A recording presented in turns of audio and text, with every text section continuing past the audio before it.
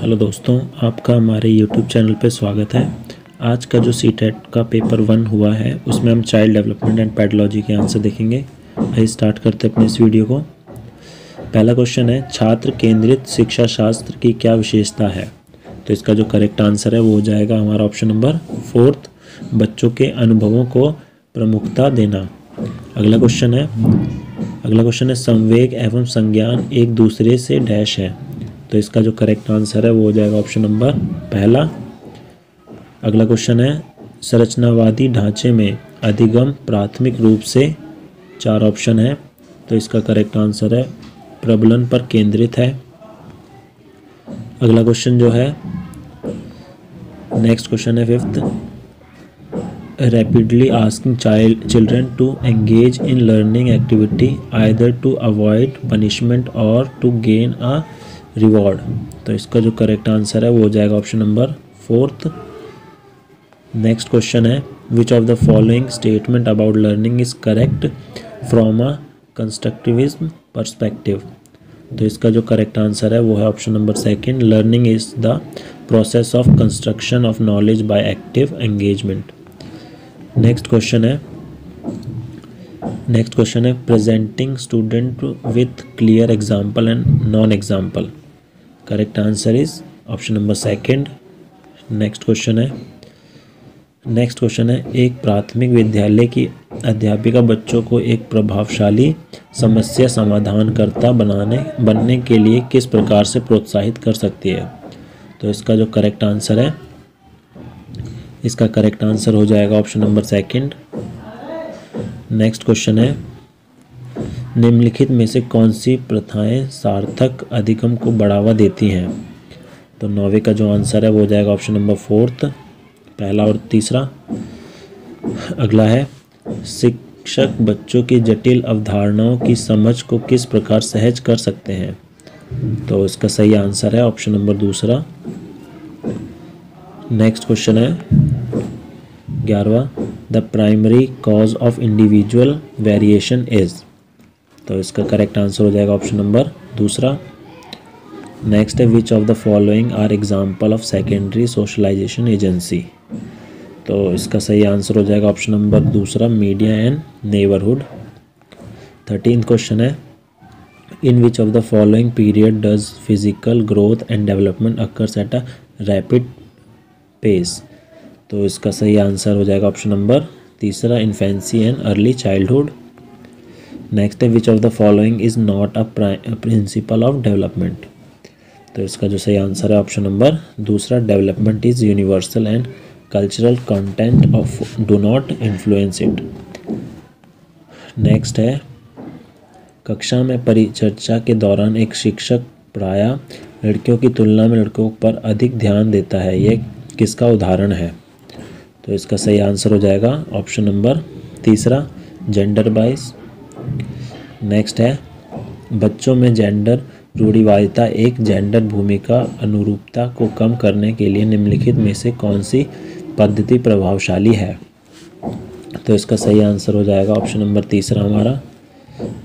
अगला है, निम्नलिखित में से किस मनोवैज्ञानिक ने बच्चों को ज्ञान के सक्रिय जिज्ञासु के रूप में देखते हुए उनके चिंतन पर सामाजिक एवं सांस्कृतिक विषय वस्तु के प्रभाव को महत्व दिया। तो इसका जो सही आंसर हो जाएगा लुई वाइगॉस्की, ऑप्शन नंबर चौथा। नेक्स्ट है, भाषा के अर्जन एवं विकास के लिए सर्वाधिक संवेदनशील अवधि कौन सी है? तो इसका सही आंसर हो जाएगा ऑप्शन नंबर चौथा, अर्ली चाइल्डहुड। उन्नीसवा है, निम्नलिखित में से कौन सी लॉरेंस कॉलवर के द्वारा प्रस्तावित नैतिक विकास की एक अवस्था है? तो इसका सही है। ऑप्शन नंबर चौथा, हमारा सामाजिक अनुबंधन अभिविन्यास। अगला क्वेश्चन है, निम्नलिखित व्यवहारों में से कौन सा जीन प्याजे के द्वारा प्रस्तावित मूर्त संक्रियात्मक अवस्था को विशेषित करता है? तो बीसवीं का जो आंसर हो जाएगा, वो जाएगा ऑप्शन नंबर तीसरा। अगला क्वेश्चन है, बच्चों के संज्ञात्मक विकास के संदर्भ में निम्नलिखित में से कौन सी प्याजी की संरचना है। तो इसका सही आंसर जो है, वो हो जाएगा हमारा ऑप्शन नंबर तीसरा, स्कीमा।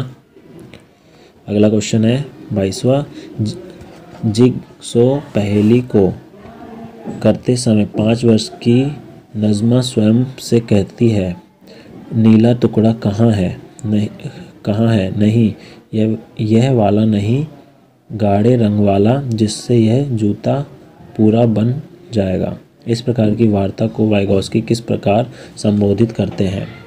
तो इसका जो सही आंसर है, ऑप्शन नंबर तीसरा, व्यक्तिगत वार्ता। अगला क्वेश्चन है, बच्चों को संकेत देना तथा आवश्यकता पड़ने पर सहयोग प्रदान करना निम्नलिखित में से किसका उदाहरण है? तो इसका जो सही आंसर है, वो हो जाएगा ऑप्शन नंबर दूसरा स्कैफोल्डिंग नेक्स्ट है रूही हमेशा समस्या के एकाधिक समाधानों के बारे में सोचती है। इनमें से काफ़ी समाधान मौलिक होते हैं। रूही किन गुणों का प्रदर्शन कर रही है?